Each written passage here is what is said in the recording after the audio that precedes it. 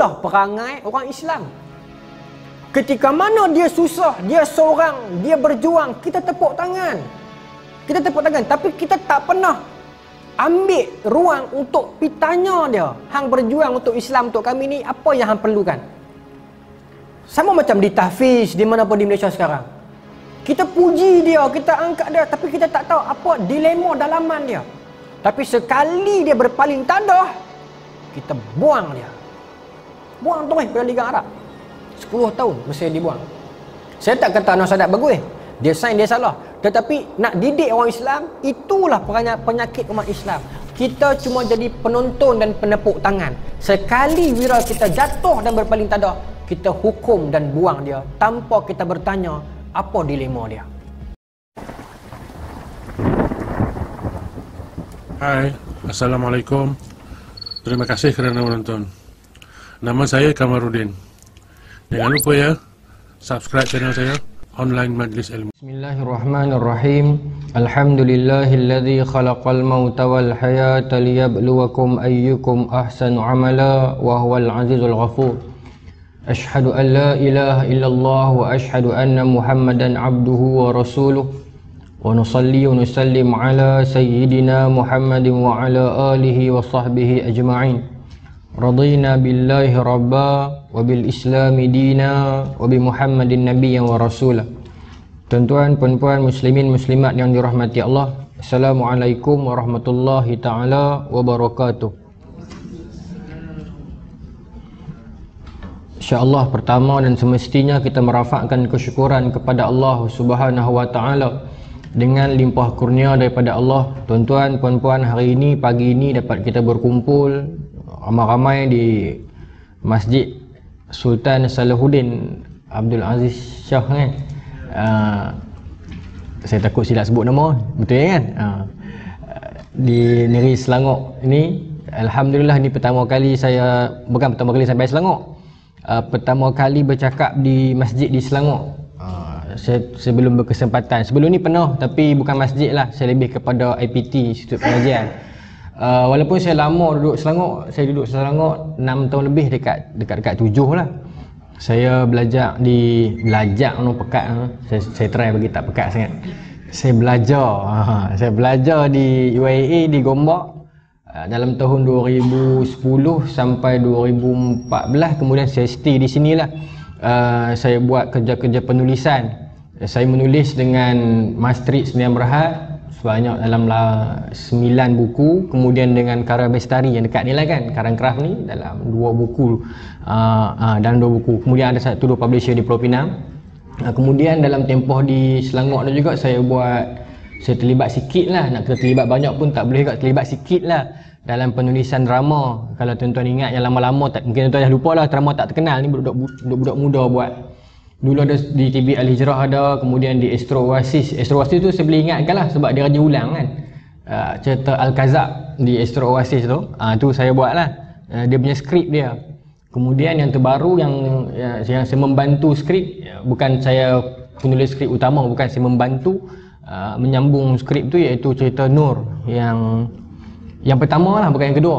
yang kedua saya tak terlibat. Yang pertama Okay. Ha, tapi saya menyambung je lah bukan saya utama bukan yang utama adalah tuan pengarah dan penerbit tu tuan lepas lah uh, tuan lepas yeah. yes tuan, tuan lepas masa tu saya di Pulau Pinang saya dapat panggilan daripada uh, Bang Syarul tuan pengarah cerita tu dia minta saya datang sambung lah skrip tu sebab uh, masa tu syuting dah jalan syuting dah jalan kemudian skrip masih lagi belum habis jadi dia nak dia nak direct lagi maka dia minta saya mai. Saya tanya dia cerita pasal apa bang? Dia kata cerita ni kalau esok terbit mesti viral punya. Saya kata sebab apa? Sebab cerita pasal ustaz nak kahwin dengan pelacur. Cerita on. saya hantar surat dekat pengetua minta minta cuti. Saya saya mengajar di Pulau Pinang di sekolah agama di Pulau Pinang. Jadi dapat cuti sebulan. Uh, terus saya main ke sini lah. Lokasi syuting ni dekat-dekat sini lah. Dekat nasi lemak cinta sayang. Di masjid dekat yang stadium tu kan. Masjid apa tu? Masjid Al-Ikhlas ha, itu antara tempat lokasi syuting lah. Jadi saya memang berkelana di sini lama juga masa tu. Uh, saya tidur di hotel-hotel kata tu lah, hotel murah tu. Uh, jadi sebulan ni kemudian saya balik lah. Uh, kemudian Alhamdulillah terbit drama tu yang ada ada pro and cons dia dan yang dua saya tak terlibat lah. Okay? Uh, jadi tuan-tuan insyaAllah hari ni saya bersama tuan-tuan sebagai uh, sebagai anak-anak, sebagai adik, sebagai anak, sebagai adik lah. Saya lahir tahun 90. Uh, muda ya. 16 Mei tahun 1990 pangkat anak lah. Jadi kalau ada silap silap sebut berapa hari ni tuan-tuan anggap anak-anak ni biasalah buat silap kan. Uh, 16 Mei hari guru. Masa saya lahir lahir tu memang dapat cok guru lah. Uh, Alhamdulillah sampai sekarang lah. Saya baru posting tahun 2007 2017. Uh, baru lagi lah masih baru.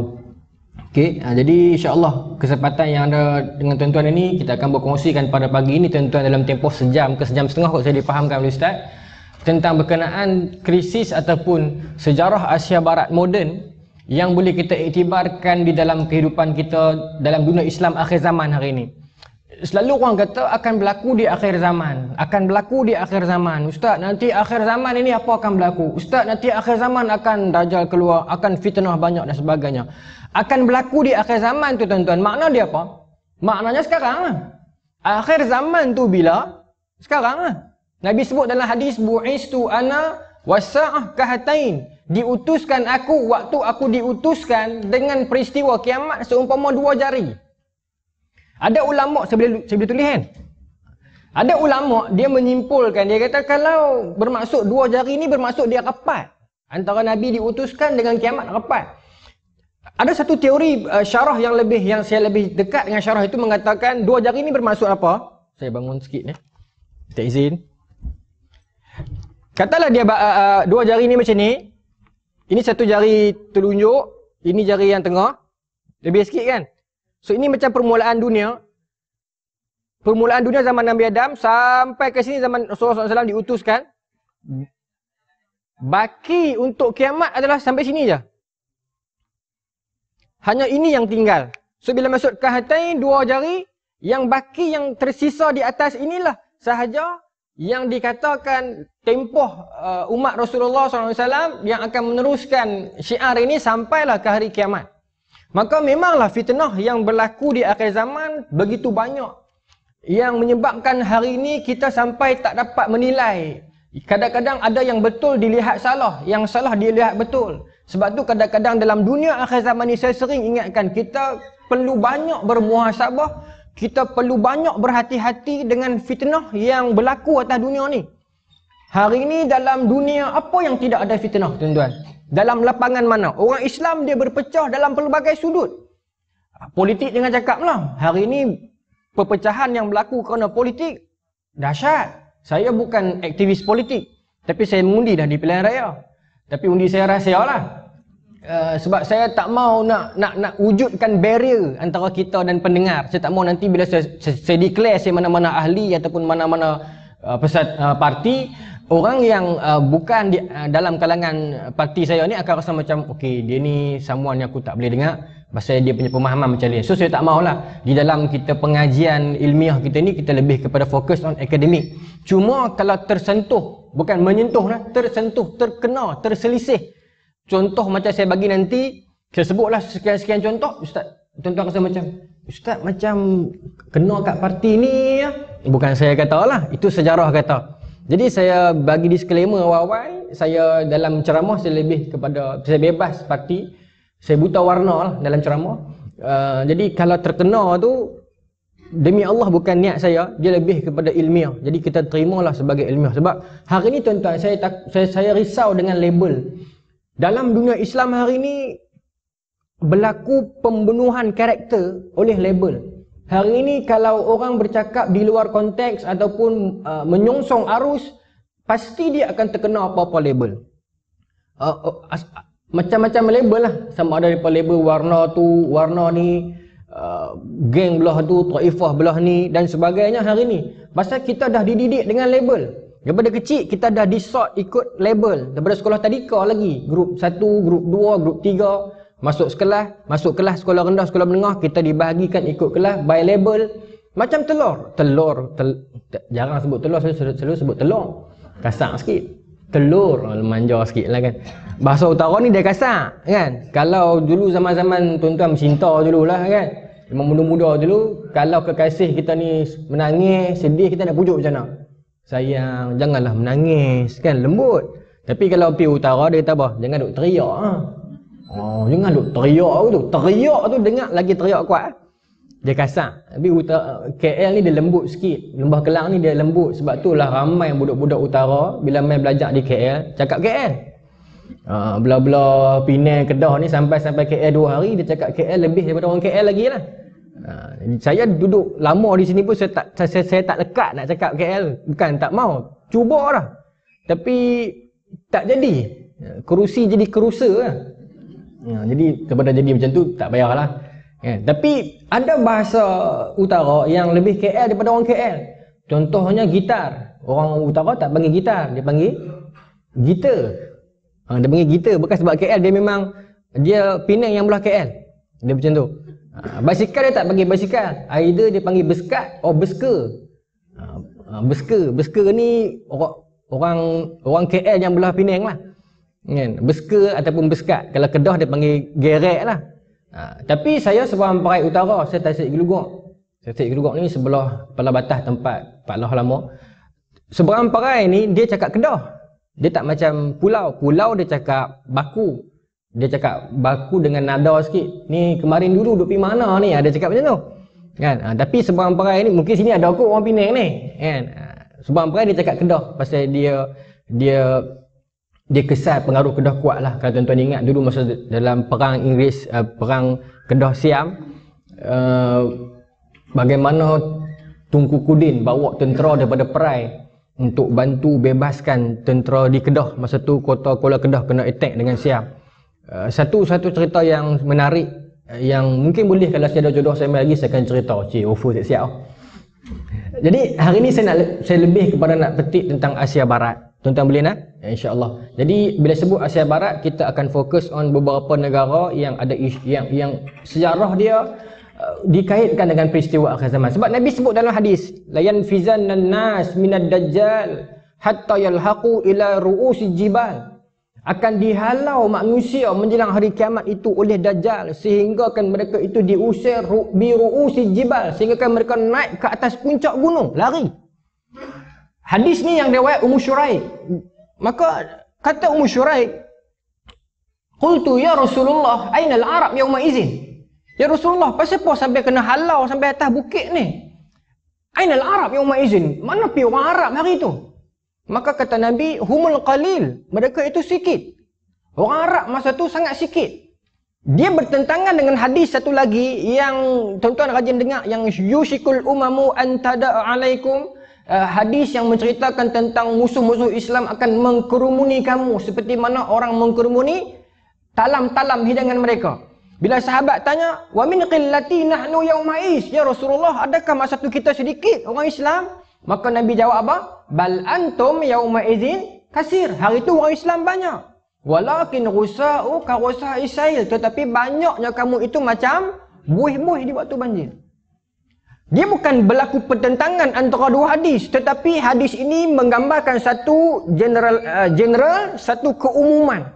Menggambarkan di akhir zaman orang Islam banyak tetapi umpama buih dan menggambarkan di penghujung akhir zaman orang Arab berkurang. Kerana itulah kita jangan pelik kenapa perang demi perang demi perang tercetus di bumi Arab. Kalau tuan-tuan tengok revolusi Arab, Tuan-tuan tengok di revolusi Arab bagaimana Mesir, Tunisia, kemudian di Libya. Hari ini Syria belum selesai. Syria belum selesai, tuan-tuan. Adakah sukar untuk Amerika yang dah masuk dalam uh, Arab Spring ini untuk selesaikan isu Syria? Gaddafi mereka dapat tangkap. Saddam Hussein mereka dapat tangkap. Osama bin Laden mereka dapat tangkap. Adakah sukar untuk Amerika nak attack, nak dapat tangkap Bashar Assad? Tidak. Dengan kelengkapan Amerika yang dia ada tu, tuan-tuan hari ini, minta maaf sebutlah mungkin sensitif. Orang berbicara tentang benda yang hilang, yang susah nak jumpa. Ada orang petik dengan MH370, wal wali'azubillah, saya, saya, saya, Allah Ta'ala lah, saya mohon berbeza lah. Yalah, ada orang kaitkan dengan MH370 dan banyak benda yang tak jumpa kan. Tapi tuan-tuan cuba fikir, hari ini tuan-tuan, kita hilang iPhone pun boleh dapat balik. Okay? Tuan-tuan hilang iPhone, tuan-tuan boleh detect ada di mana, boleh dapat balik. Even your iPhone, iPhone kita pun boleh dapat balik. Macam mana benda besar-besar tak boleh jumpa? Ini bukan atau hasutan ni. Nak beritahu, susah jumpa. Bashar Assad tak dapat tangkap sampai hari ni. Bukan Amerika tak mampu tangkap dia, tetapi sengaja Amerika biarkan begitu agar makin lama makin ramai orang Arab di Syria binasa. Makin lama makin ramai orang Arab di Syria mati. Ada ibu yang meninggal dunia, ada isteri yang menjadi janda, ada anak yang menjadi yatim. Kerana apa? Pertempuran akhir zaman antara tentera Islam, pimpinan Imam Mahdi dan Nabi Isa bertempur dengan tentera Dajjal berlaku di bumi Syam, Syria. So, in that context, dalam konteks itu, mereka telah prepare, prepare, biar kita musnahkan potential threat yang ada. Bunuh dulu, bunuh, bunuh, bunuh, bunuh dulu. Ini yang maaf sebut Al-Syahid Syekh Said Ramadan Al-Buti nampak di peringkat awal diminta jangan gempur Bashar bukan pasal dia sokong Bashar tetapi dia nampak kemusnahan yang lebih besar akan berlaku. Tetapi berapa ramai orang yang kritik dia kutuk dia label dia yang akhirnya asyahid meninggal dunia. Sampai tahap tu orang Islam sekarang. Wallahu taala alam yang bunuh dia orang Islam ataupun bukan Islam tetapi akhirnya dia meninggal dunia. Peringatan dia peringkat awal itu. Sekarang di Mesir uh, pun benda yang sama berlaku bila Syekhul Azhar mengingatkan jangan berlaku huru hara ni bukan sebab kita menyokong pemerintah yang zalim kau dan sebagainya tetapi nak mengelakkan kemudaratan yang lebih besar. Saya saya cerita apa kaitan dengan Uthmaniyah dan dengan Malaysia baru. Baik. Tuan-tuan, kita nak pergi konteks peringkat awal dulu. Bagaimana tercetusnya sejarah Asia Barat ini? Uh, dulu, dulu Empire Christian, Empire Christian pernah berlaku zaman kegelapan. Kalau kita buka buku teks, dia kata uh, Dark Ages of Europe. Kurun kelima sampai kurun kelima belah. Zaman itu akhirnya ditamatkan oleh gerakan-gerakan Reformation uh, oleh Martin Luther and the gang lah yang akhirnya mereka pun dibunuh. Tapi nak bagi tahu 10 kurun ini, kurun kelima sampai kurun kelima belah, seribu tahun. Dark Ages of Europe. Tapi sebenarnya bukan Dark Ages of Europe. Dia Dark Ages of Christian. Sebab kalau kita kata Dark Ages of Europe, di sana ada tamadun Andalus yang terletak di Europe yang milik orang Islam. So dia bukan Europe as benua tetapi dia kegelapan uh, umat Kristian. Yang mana ketika itu di Europe ada tamadun Islam yang bersinar, yang Andalus, yang buku-bukunya begitu banyak, ilmuannya begitu hebat, sebelum sebelumnya mereka mewarisi daripada Baghdad, daripada Kufah, tradisi keilmuan Islam yang sungguh dahsyat. Saya masih ingat dulu di Andalus, bukan saya masih ingat lah, saya baca lah. Uh, bagaimana ketika mana Sultan nak buat uh, hospital. Sultan memerintahkan beberapa orang ulama untuk pergi survey tempat untuk buat hospital ni dalam tamadun Andalus. Maka apa yang ulama buat? Mereka bawa daging. Bawa daging mentah pi dekat potensial tempat yang akan dibangunkan. Hospital, ini level hospital dah. Maka dia tinggalkan daging-daging mentah di tempat-tempat tersebut. Setelah beberapa hari dia main balik, dia tengok daging mana yang paling kurang tercemar. Nak kata tak tercemar tak boleh lah. Tapi mesti ada tercemar. Tapi paling kurang tercemar. Maka tempat itulah dijadikan hospital. Sebab dia punya humidity dia di situ stable. Antara kelembapan dia, kepanasan dia dan sebagainya dia stable, maka paling sesuai dia letakkan hospital. Apa makna daripada cerita ni? Maknanya adalah orang Islam dahulu tidak memisahkan akademik dengan agama. Sains dengan agama. Oh, depa bila disuruh ulama untuk pergi survey tempat, depa tak pergi dirikan solat hajat di setiap tempat. Bukan saya kata solat hajat tu salah, tetapi depa tak memisahkan nilai sains dengan dengan faktor tempat dan faktor kehidupan. Kerana itulah dulu Islam memimpin dunia. Kita ada orang Yahudi terkenal, uh, Musa Maimun yang berguru dengan orang Islam. Yang akhirnya dia jadi hebat tapi berguru dengan orang Islam. Berapa ramai dahulu orang Kristian yang dihukum pancung. Oleh kerana atas tuduhan treason, uh, heresy, pertuduhan murtad dan pertuduhan kianat. Kerana orang-orang Kristian main berguru sains dengan orang Islam. Hari ini nampaknya benda tu terkalih. Setelah orang Kristian belajar daripada sejarah, mereka mengubahnya. Tetapi orang Islam telah mengulang sejarah Kristian. Saya bagi contoh. Dahulunya Kristian, dia negara yang ada tiga kiblat. Bukan kiblat bermaksud semayang, tetapi kiblat bermaksud center. Uh, yang pertamanya di Vatican lah. Sampai hari inilah Vatican. Vatican ni tuan-tuan dia sebuah negara sendiri kan. Vatican. Dia ada satu satu faktor kenapa Vatikan dijadikan sebuah negara sendiri walaupun dia kecil. Sebab uh, model kerusi di United Nation dia based on kerusi bukan based on population. So secara tak langsung walaupun kecil negara tu dia akan boleh tambah satu lagi satu lagi kerusi negara Kristian. Sebab itu begitu sukar untuk Aceh dapatkan negara sendiri. Sebab kalau naik Aceh dia akan tambah satu negara Islam. Ya? Sebab itu begitu sukar untuk Rohingya dapat. Ha, Kashmir baru ni jadi isu kan. Adakah Kashmir nak jadikan negara sendiri? Kalau dapat, negara Islam satu lagi. Sukar. Tapi tak sesukar itu bagi negara yang tak ramai Islam ataupun yang tak kuat Islam macam Timor Leste, dia boleh naik cepat. Sebab dia tak memberi dia dia menambah keuntungan kepada kepada kerusi di United Nation. Baik. Maka satunya di Vatican di Rome. Kemudian di mana lagi? Di Baitul Maqdis. Ya, Baitul Maqdis dalam perang salib pertama Kristian dapat balik Uh, kemudian satu lagi di Constantinople. Okey. Tentu dalam tahun 1187 Masihi berlaku perang salib yang dipimpin oleh uh, Sultan Yusuf ataupun tuan-tuan lagi kenal dengan nama dia Salahuddin Al-Ayyubi. Nama dia Yusuf. 1187 Islam membebaskan Baitul Maqdis dalam perang salib. Maka jatuh satu kota Kristian ke tangan orang Islam. Antara faktor bagaimana Islam boleh menang kerana perpecahan Kristian Masa zaman itu Kristian kaum Frank yang memerintah di Baitul Maqdis terbahagi kepada dua iaitu geng Helang dan geng Merpati. Sat, dua kelompok geng yang tak pernah setuju antara satu sama lain. Perbalahan ini menyebabkan mudah, bukan nak kata mudah pun tak boleh juga, susah juga. Tetapi antara faktor yang membolehkan Islam menang kerana perpecahan Kristian. Yang akhirnya bila di, di babak akhir peperangan, geng Merpati boykot. Geng Helang yang lawan. Ya?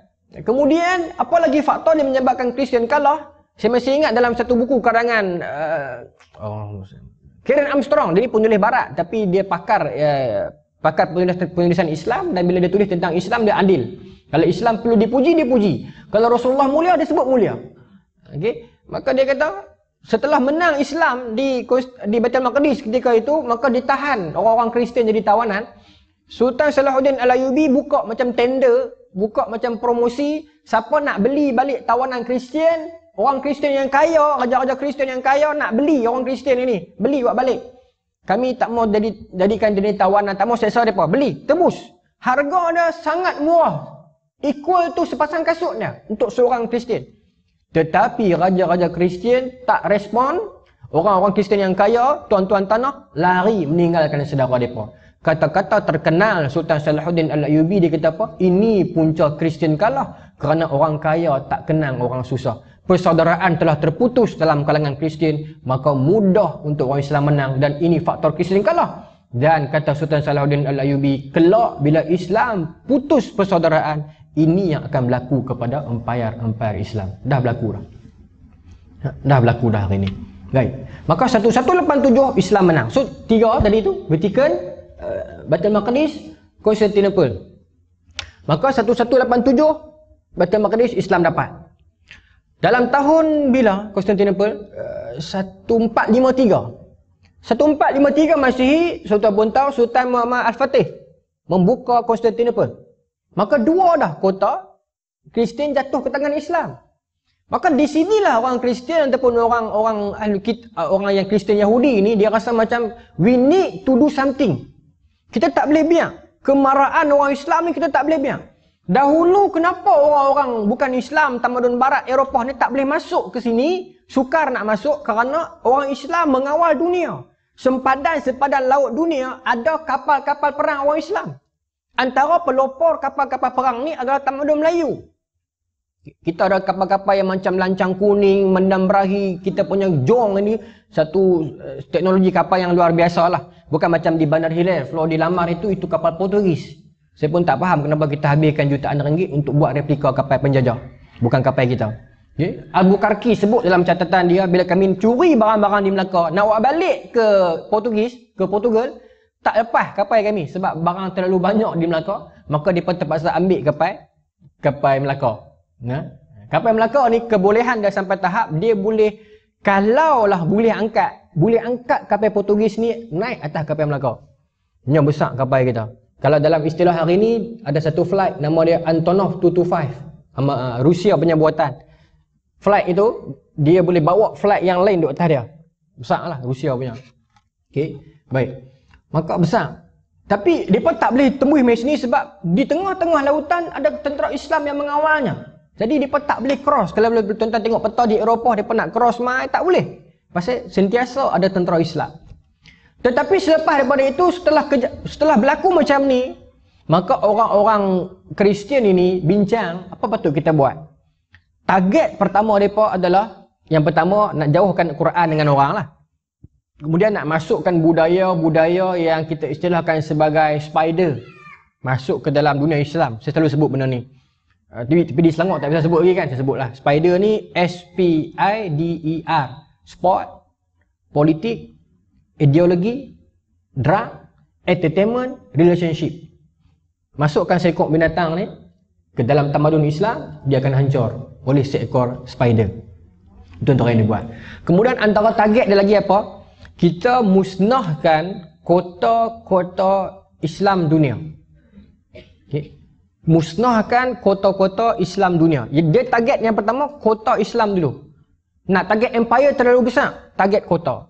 Maka setelah 1453, uh, Constantinople kalah, tak tunggu lama, 1493 ataupun 1492 plus minus area itu. Siapa yang jatuh?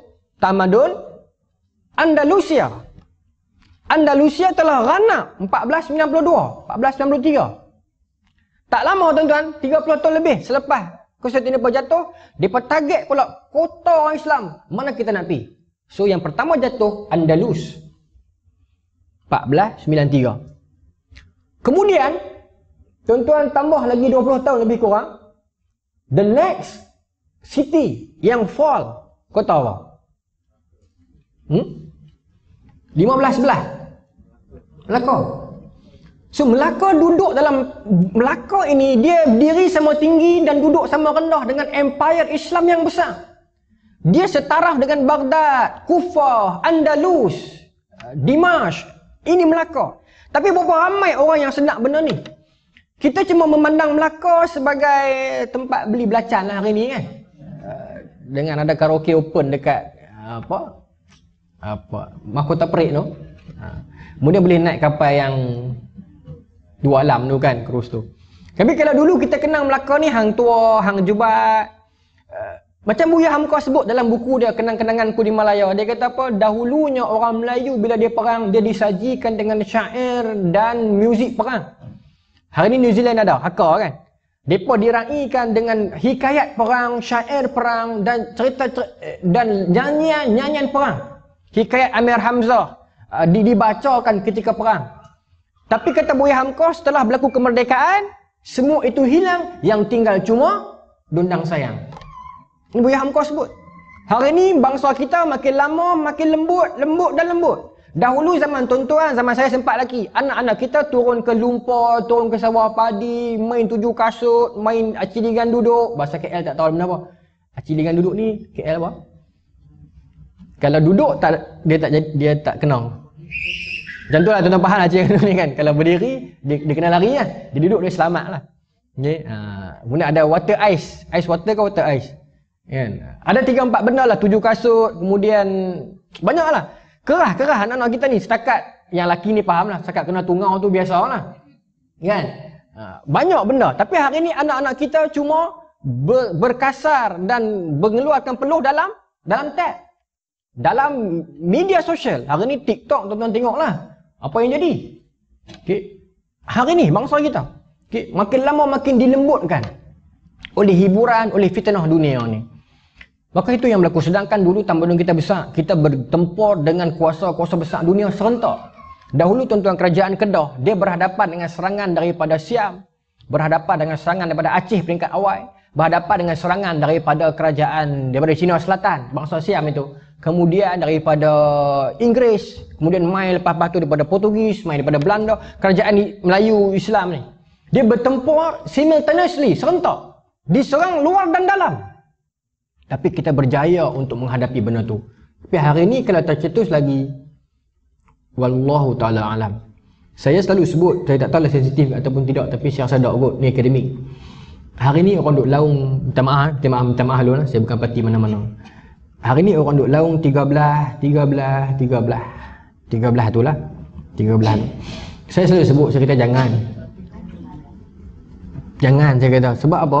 Bukan kita menyokong bangsa lain, umat lain. Tetapi kal kalau berlaku sekarang dalam tempoh umat Melayu Islam berpecah akan wujud watak-watak baru si kitul dalam dunia hari ini. Akan wujud Saleh Kamil yang baru apa ataupun nama apa? Buang. Dalam Mak Sajen Hasan tu. Okay. akan wujud. Kemudian hari ini kita kebergantungan orang Islam dengan orang Islam tak kuat. Hari ini berapa ramai orang Islam yang bekerja dengan orang bukan Islam So dia kata kalau 13 Mei seronok berlaku perang baling barang baling barang ni perang. Orang seronok perangnya sedangkan perang ni bukan benda yang seronok.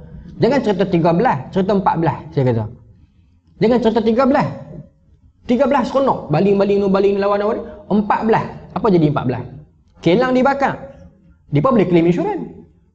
Tapi anak-anak kita yang kerja dengan dia nak kerja mana? Nak naik wayang suku? Ha, sebab tu saya kata hari ni mantapkan dulu ekonomi kita. Ya, bantu ekonomi orang Islam. Ada produk orang Islam, kita support. Uh, kita naikkan tauke-tauke Islam bagi kaya dan dia boleh hire orang. Okay. Uh, kemudian bila kita kebergantungan kita dengan kita barulah boleh sembang. Tidak hari ni tuan-tuan. Takut, ha? takut. Pasal perang bukan satu benda yang seronok. Islam meletakkan perang jalan akhir. Dan dalam tengah perang kalau musuh surrender, jangan pukul dia kalau dah dapat tawan dia jangan anaya dia. Dan perang pula berlaku dekat medan badar medan uhud bukan di kampung-kampung di rumah-rumah. Kan? Ada adab dan adat perang dia. Bukan semudah itu. Selagi boleh elok elok. Okey? Ha baik. Saya sambung lagi nah. Ha. maka setelah andalus jatuh ya, melaka jatuh 15 11 melaka jatuh ni tuan-tuan sebenarnya melaka diserang tiga kali. Yang pertama 1504 Eh, pertama kali Portugis serang Melaka begitu mudah dipatahkan. Yang kedua 1508 serang sekali lagi selepas 4 tahun. Macam World Cup 4 tahun sekali. 1508 dia serang pula tak berjaya lagi. Sebab Melaka ni satu kerajaan yang besar kuat. Bukan mudah nak patahkan Melaka. Melaka di sekarang sampai sekarang ada kampung Melayu Bukit, kampung Melayu Pancor di Melaka. Dia adalah dalam zaman ketamadunan Melaka dia ialah satu kolam mandi awam yang Sultan buat untuk orang-orang Melaka. Hari ni bila sebut kolam mandi awam, kita ingat apa? Kita ingat tamadun Indus. Ingat tak? The Great Bath. Kan? Tapi orang tak sebut Melaka. Banyak lagi lah tempat alur gajah dan sebagainya. Tapi bukan mudah untuk Portugis masuk. Kenapa 1511 mudah Portugis masuk? Kerana berlaku perpecahan dalaman. Bendahara Seri Maharaja ketika itu dia disogokkan oleh uh, Naina Suradewana sejumlah wang.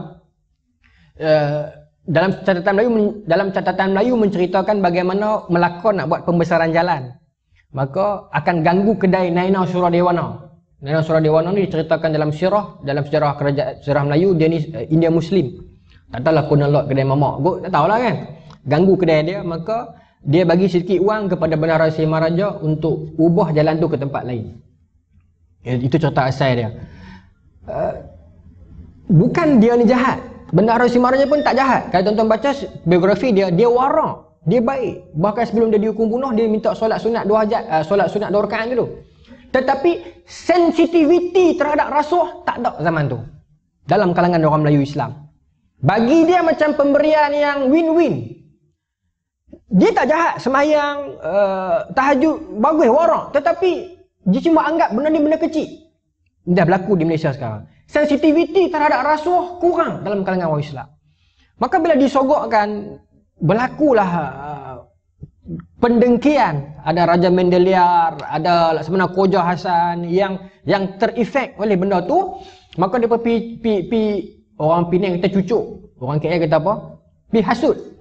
Nah, pi hasut uh, pi hasut Sultan Mahmud Shah pi buat fitnah mengatakan bendahara si Maharaja pakat dengan uh, Naina Suradewana nak gulingkan sultan. Sedangkan contoh-contoh yang lain. Sebab dia pun geram kat bendahara dan kebetulan sultan masa tu pun tengah bengang dekat bendahara sebab sultan tolak pinangan eh bendahara tolak pinangan sultan. Uh, Tun Fatimah. Tapi uh, sultan tak boleh buat apa lah cuma dia tunggu geram dapat poin maka tuan-tuan Sultan menghantar Tun Indra dan Tun Suradiraja untuk membunuh Bendahara Si Maharaja. bendahara bila tengok keris sultan. Keris sultan ni kalau zaman tamadun dulu bila bawa keris sultan bermaksud dia akan dihukum bunuh. Maka kata bendahara masa tu ada Tun Ali dengan Laksmana Hasan nak lawan. Tapi bendahara kata jangan lawan. Kalau hang lawan benda ini akan jadi lagi besar. Dia tak mau. Biarlah aku seorang korban jangan cerita ke orang. Maka dia minta izin kepada Tun Sura dan Tun Itun Indra dan Tun Sura Diraja. Dia kata izinkan aku solat sunat dua rakaat sebelum aku menjumpa Tuhan aku. Maka dia naik solat, dia turun dan dia relakan diri dia dihukum bunuh. Maka bendahara si Maharaja orang yang faham. Jangan, jangan, jangan, jangan huru harakan Empire Islam. Tapi bila berita ni sampai dekat luar, tuan-tuan boleh buka dalam buku sejarah mana pun. 1511 bila berlaku serangan ketiga Portugis, apa berlaku? Orang rakyat Melaka boykot. Tak mau keluar perang. Sebab kemarahan mereka bila bendahara Sri Maharaja dianiaya dan dizalimi. Difitnah, dianiaya dan dizalimi. Sebab dalam dua kali perang awal itu bendahara Sri Maharaja lah yang pimpin tentera. Yang bagi semangat. Yang turun padang. Maka rakyat sayang dekat dia. Sekali dia dizalimi dan dianiaya. Maka rakyat Melaka boykot. Tak mau turun medan bila Portugis main kali ketiga. Maka kerajaan terpaksa import upah tentera-tentera daripada bangsa orang-orang laut dan orang Jawa ni mai untuk bantu tapi tentera upahan ni tuan-tuan terlalu mana sangat dia nak berjuang yang akhirnya Portugis dapat uh, Melaka okay. ini antara sebab jatuhnya empayar fitnah dengki dan rasuah yang macam saya kata tadi kita tak pernah kritik uh, bendahara orang yang jahat. Memang tak dinafikan. Saya baca biografi dia memang dia orang yang baik warak beriman soleh. Tapi sensitif tak ada rasuah itu kurang sensitif. Dia mungkin anggap macam ini pemberian hadiah biasa kan? Tuan-tuan maaf sebut kalau ada rakan-rakan Indonesia dalam video ni ke. Indonesia kalau tak ada rasuah dia boleh jadi kuasa dunia dengan kekuatan bangsa dia yang berani, yang cekal. Tuan-tuan tengoklah dia naik bangunan tinggi-tinggi kan. Macam mana? Dan ramai bilangan umat Islam dia. Dan tokoh akademik dia tuan-tuan tengok tok-tok guru kita di Indonesia macam mana tahap hafalan depa kemudian penulis-penulis Indonesia tebal-tebal buku depa tapi kerana rasuah dia jatuh dia jatuh ke bawah. Tapi sekarang Indonesia sedang reform sedang buat pembaharuan sikit demi sedikit kalau benda ni berterusan dia akan jadi kuasa dunia sebab antara negara yang ditarget oleh Yahudi untuk berlaku revolusi adalah Indonesia dulu Ha. Tetapi jangkaan mereka meleset. Rupanya yang berlaku revolusi di mana? Di Iran tahun 79. Mereka tak pernah sangka Iran akan revolusi sebab mereka ingat Syah Iran tu mereka dah kawai dah. Dan Syiah cuma 10%. Tak perlu buat apa-apa kot. Rupanya naik revolusi di situ. Tetapi kesilapan Iran bila dia menjenamakan revolusi dia dengan Syiah, maka kita tak sokong lah. Tapi kalau dia jenamakan atas Islam sahaja dengan libatkan Syiah, insyaAllah orang Islam sokong. Masa tu. Baik, saya boleh sambung lagi ke? Nampak jam sabut dah tuan-tuan. Nak cetak Asia Barat contoh Melaka. Bukan buat dia bila main merdeka ni jadi semangat. Ha, bukan bila dia main dah sini kan. Sekali ni nak main. Jadi alang-alang main cerita bila. Baik, saya nak sambung.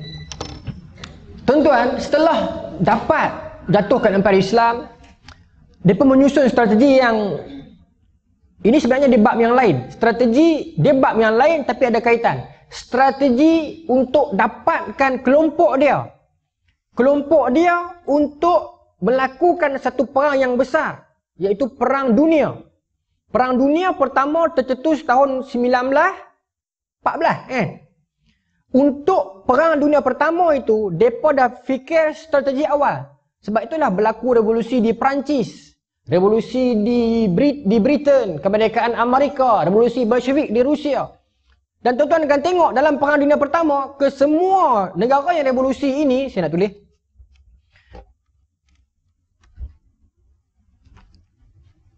Oh ada marker sini. Berlaku revolusi di Britain, kemudian Amerika kan merdeka 1776, kemudian di Rusia, kemudian di France, betul? Okey, Italia ada sikit okay. Baik. Dalam World War One, kebetulan ataupun memang suratan, okey, Britain, Amerika, Rusia, France, dalam World War One ini adalah satu paksi Geng, satu geng. lawan dengan Jerman, Uthmaniyah, kan? Lawan dengan game belah sini. Apa kaitan revolusi yang berlaku dalam negara-negara ini sebelum World War One dengan kaitan dalam World War One? Dan apa kaitan dengan negara Islam? Perang dunia pertama tuan-tuan, apa alasan dia kalau tuan-tuan buka buku sejarah? Pembunuhan Duke Ferdinand dekat Sarajevo. Tak nak kena mengenal dengan orang Islam ni. Tiba-tiba tamat perang dunia pertama 1919. Tamat perang dunia pertama. Kesan dia apa? 1924 Uthmaniyah collapse.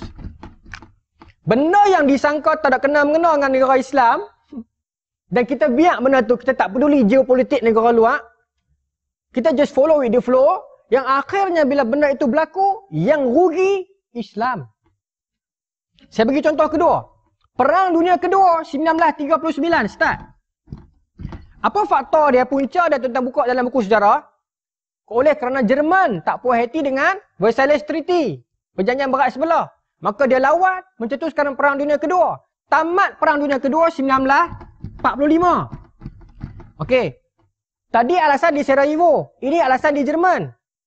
Yang rugi Uthmaniyah. Perang Dunia Kedua tamat, yang rugi apa? 1947 Palestin jatuh ke tangan Israel.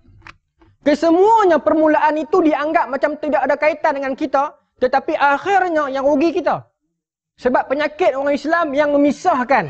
Yang memisahkan keilmuan akademik, sejarah, geopolitik dengan agama dia menyebabkan dia less sensitif on what happen atas dunia ni.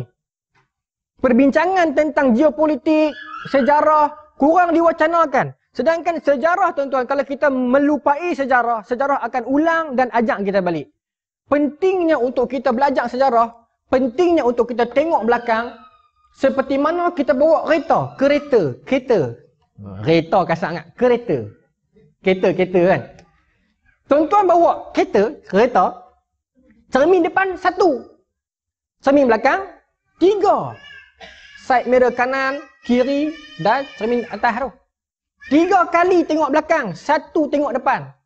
Bermaksud in order for us to move depan kena pastikan belakang kita ambil iktibar apa yang terjadi. Ini kepentingan belajar sejarah. Tapi orang Islam telah meninggalkan sejarah ini. Kita mengecilkan skop sejarah. Sebab tu saya kata dulu orang bincang dalam sirah.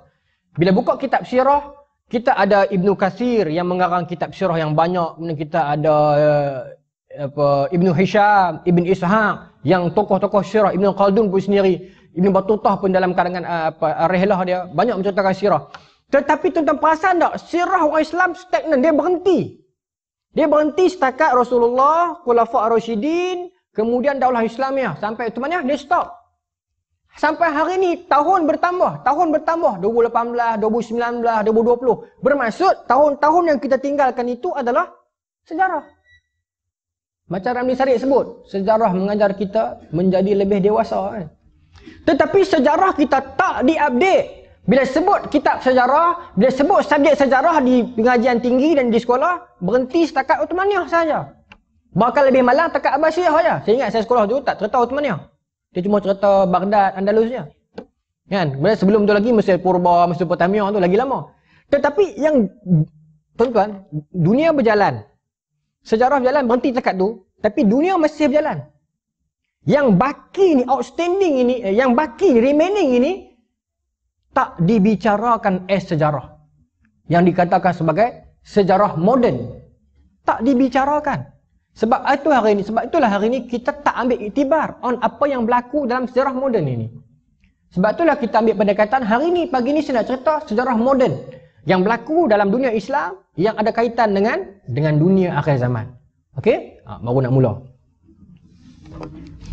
Saya kena habis pergi berapa Ustaz? 12 ke? 12 ha? Baik insya-Allah.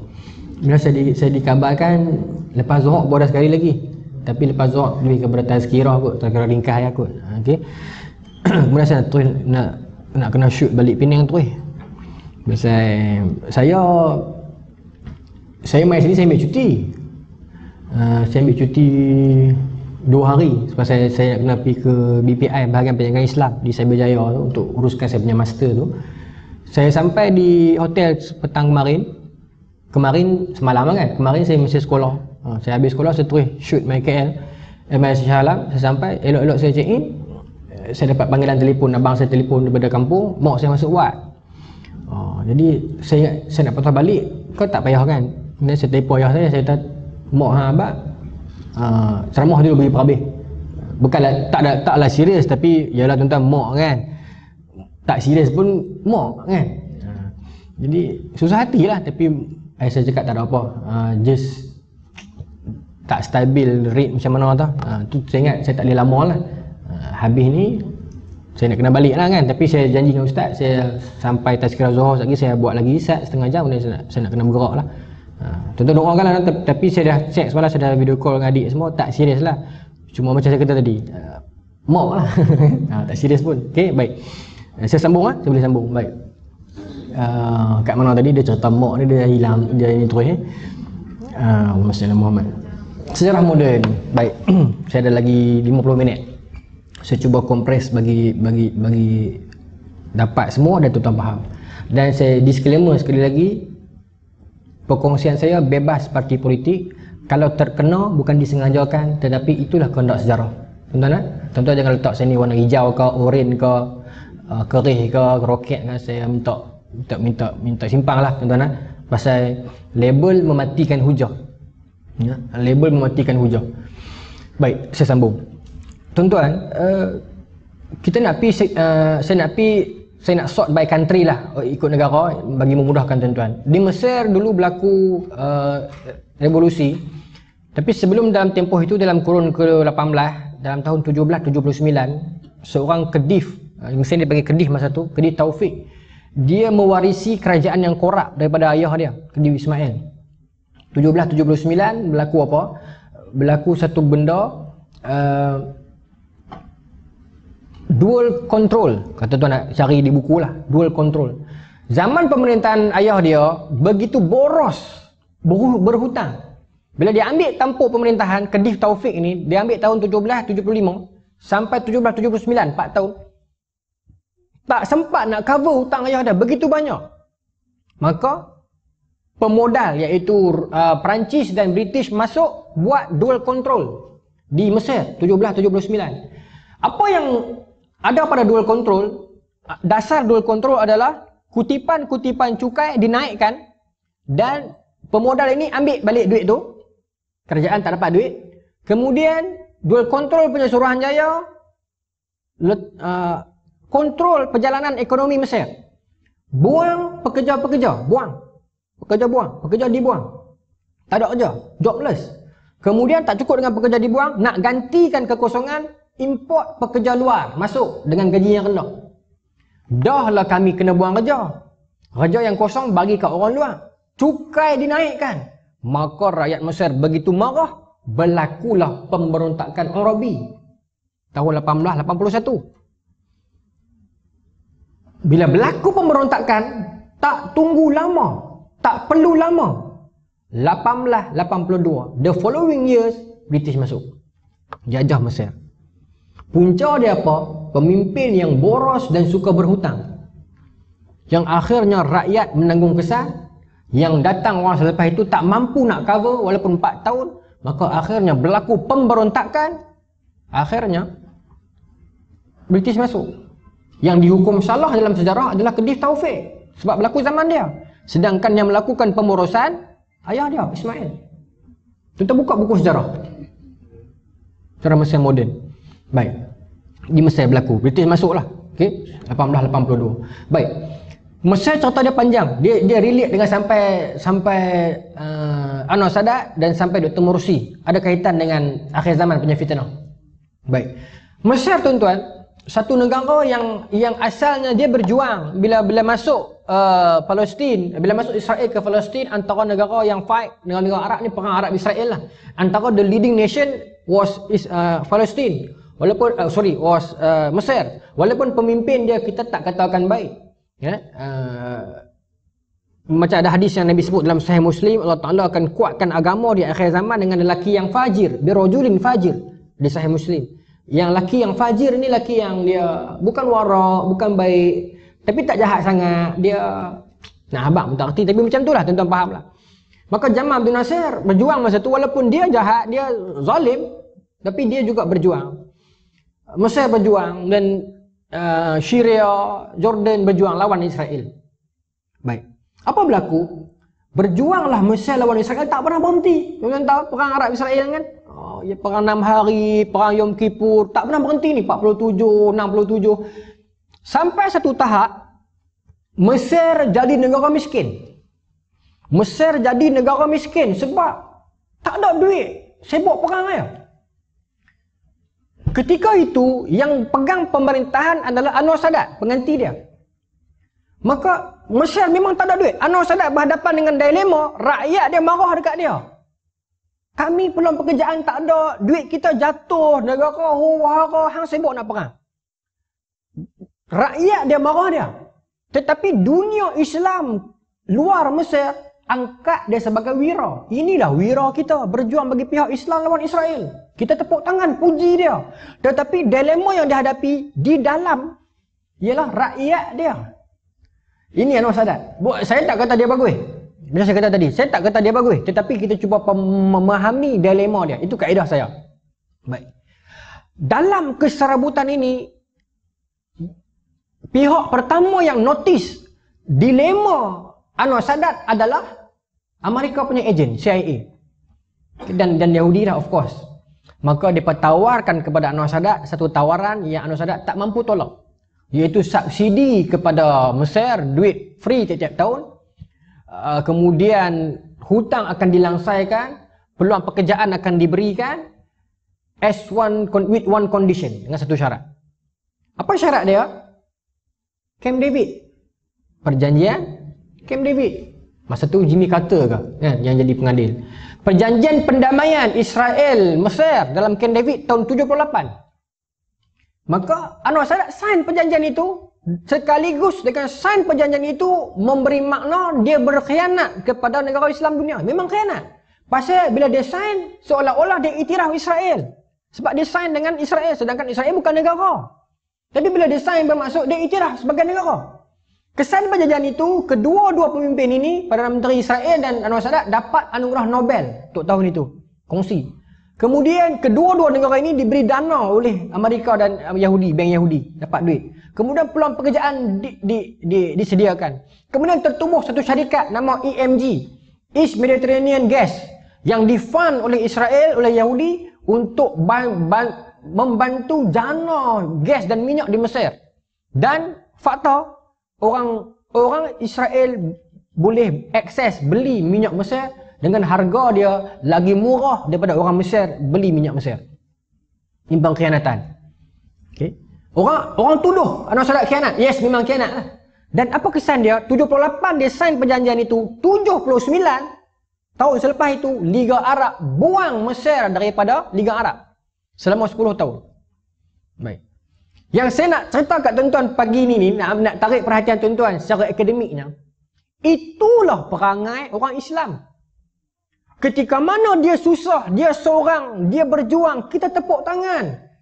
Kita tepuk tangan tapi kita tak pernah ambil ruang untuk pitanya dia. Hang berjuang untuk Islam untuk kami ni apa yang hang perlukan? Sama macam di Tahfiz di mana pun di Malaysia sekarang. Kita puji dia, kita angkat dia tapi kita tak tahu apa dilema dalaman dia. Tapi sekali dia berpaling tandah, kita buang dia. Buang terus pada Liga Arab. 10 tahun mesti dibuang. Saya tak kata Anwar Sadat bagus. Dia sign dia salah. Tetapi nak didik orang Islam, itulah penyakit umat Islam. Kita cuma jadi penonton dan penepuk tangan. Sekali wira kita jatuh dan berpaling tandah, kita hukum dan buang dia tanpa kita bertanya apa dilema dia? Benda ni berulang. Sultan Abdul Hamid kedua, saya patah balik sikit. Uh, Uthmania. Okey. Tak mau bagi tuan-tuan pening, saya, saya lukis. Saya tulis. Lukis oh, tulis, tulis, tulis. Benda ni berulang. Saya minta izin, saya boleh padam tak yang ni? Boleh ya.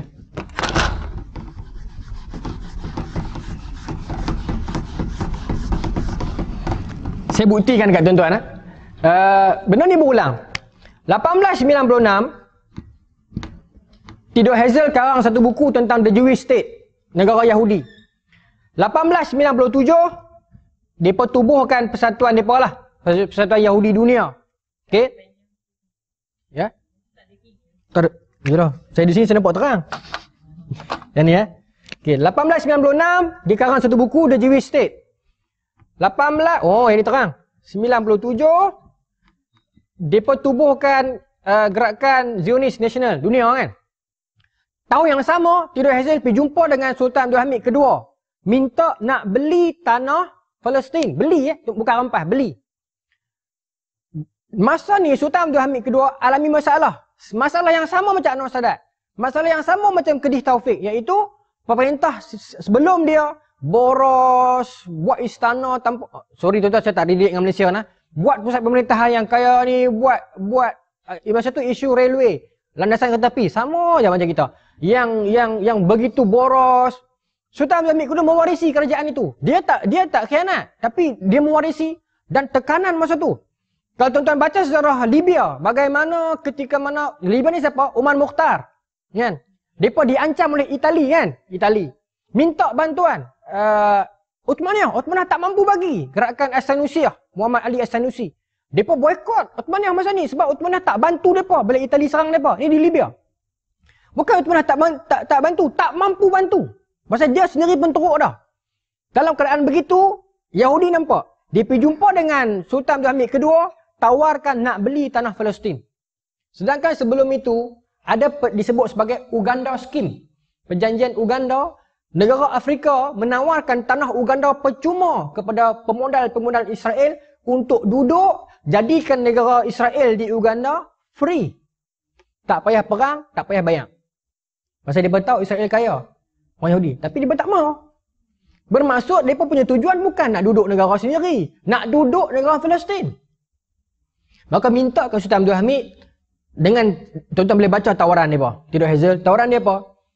Hutang uh, Uthmaniyah diselesaikan oleh banker-banker Yahudi. Satu. Hutang selesai. Tuan-tuan, hutang selesai siapa tak mau. Kan? Yang kedua, Sultan dapat allowance asing kepada Yahudi setiap bulan. Kedua. Yang ketiga, yang ketiga ni menarik. Yahudi tawarkan kepada Sultan Hamid kedua agar kalau Sultan sudi jual, bukan bagi free nah, jual tanah Palestin ini, kami akan bina sebuah Universiti Islam Utsmaniyah di Palestin. Dia tak kata kami nak bina gereja, dia tak kata kami nak bina SJKC, SJKT, kami nak bina Universiti Islam. Dia nak tarik perhatian kalau kita ni kita kata apa? Si Islam tak apalah kan. Baguslah. Tapi kelicikan Yahudi. Yahudi ni tuan-tuan kelicikan depa. Depa punya style saya pernah baca dalam buku karangan depa ni bagaimana Yahudi bantu ekonomi Yahudi. Kalau ada kedai sayur Yahudi dan Islam ni di Palestin. Kalau kedai sayur Islam satu lereng dengan kita, kedai sayur Yahudi seberang jalan, by hook or by crook beli kedai sayur Yahudi. Benda ni mungkin biasa tuan-tuan kan. Tapi yang menarik dah, uh, uh, mereka punya logik apa. Tapi, jika berlaku hujan, hujan, adakah seorang Jews ini boleh pergi beli kat kedai orang Islam? Ataupun kena cross juga hujan pergi kedai Yahudi? Orang Islam akan jawab apa? Kalau kita orang tanya macam tu, kita kata pergi kedai kita juga lah kan? Benda yang sama mereka jawab. Pergi kedai Yahudi juga. Tapi, jawapan mereka tak berhenti dekat tu. Jawapan mereka bersambung. Pi kedai itu juga, nanti baju hang akan basah, lecah, bawa baju itu hantar ke kedai dobi Yahudi. Bermaksud, apa pun saja halangan, untung dia balik kepada Yahudi balik. Dia tak nampak hujan itu sebagai halangan. Tetapi hujan itu sebagai salah satu lagi cabang-cabang keuntungan. Ini Yahudi punya style. Kalau kita hujan, apalah darurat kedai ni. ha. okay, itu yang berlaku. Hari ni, tak tahu lah, di Selangor saya tak pasti. Tapi di Pulau Pinang, kedai-kedai makan kalau yang malam habis dah. Kedai Melayu habis dah. Semua dapat kat Patani Islam juga tak apalah tapi habis. Okey. Uh, kedai runcit semua Aceh dah duduk dah. Okey. Tapak tapak kedai orang Islam Melayu lah. Tapi depa sewa bagi orang Aceh sewa. Tak apalah orang Islam tapi Melayu suka makan suka makan atas angin saja. Okey uh, kemudian yang tu saya tak marah lah bukan saya tak marah saya tak tak ada hak untuk marah tapi yang saya nak marah ni saya saya tak kisah kot saya sebut live ni tak ada masalah kot bangunan-bangunan di pusat komersial di kompleks iaitu JKP punya. JKP kan? Yang, yang untuk Bumi Putra ni. Tuan-tuan boleh sahkan. Kalau tuan-tuan duduk di Medan, tuan-tuan boleh sahkan. Yang boleh beli cuma Bumi Putra ya. Dia bukan boleh beli, dia dia tak boleh beli. Dia kalau JKP ni dia cuma boleh sewa kan. Dia cuma sewa saja. Saya tak sure yang, yang saya pasti tempat saya dia cuma boleh sewa saja. Kompleks.